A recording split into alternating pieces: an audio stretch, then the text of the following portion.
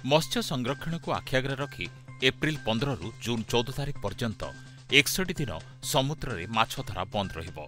ଦୁଇ ମାସ ଧରି ମତ୍ସ୍ୟଜୀବୀ ସମୁଦ୍ର ଭିତରକୁ ଯିବା ନେଇ କଟକଣା ଲାଗୁ ହୋଇଛି।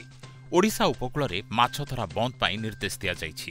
ତେବେ ସାଢ଼େ ଆଠ ମିଟର ଡଙ୍ଗାରେ କେବଳ ମାଛ ଧରାଯାଇପାରିବ।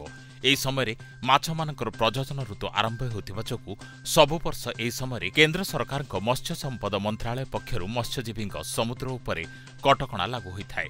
ତେବେ ସରକାରଙ୍କ ଏହି କଟକଣାରେ ପରିବର୍ତ୍ତନ ଦାବି କରି ମତ୍ସ୍ୟଜୀବୀମାନେ ଦୀର୍ଘ ବର୍ଷ ହେଲା ପ୍ରତିବାଦ କରିଆସୁଥିବା ବେଳେ ଏନେଇ କୌଣସି ପଦକ୍ଷେପ ଗ୍ରହଣ କରାଯାଇ ନାହିଁ।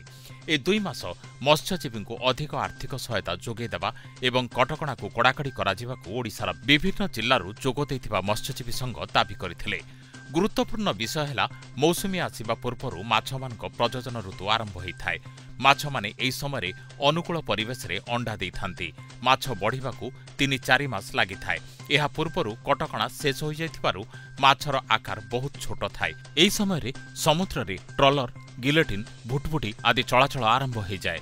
ଯାହାଦ୍ୱାରା ଲକ୍ଷାଧିକ ମାଛ ଓ ଯାଆଁଳ ମରିଯାଇଥାନ୍ତି। ମତ୍ସ୍ୟଜୀବୀ ବଡ଼ ମାଛ ବଦଳରେ ଛୋଟ ମାଛ ଆଣିଥାନ୍ତି। ତା ସହିତ ଟ୍ରଲର ମାଲିକ ମତ୍ସ୍ୟଜୀବୀ ବ୍ୟବସାୟୀ କ୍ଷତି ସହିଥାନ୍ତି। Bureau report Gitanjali news.